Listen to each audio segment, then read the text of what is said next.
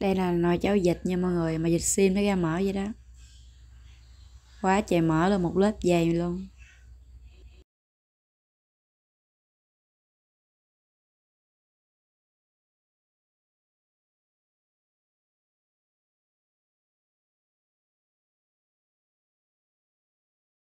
Vậy cái này mà bỏ dung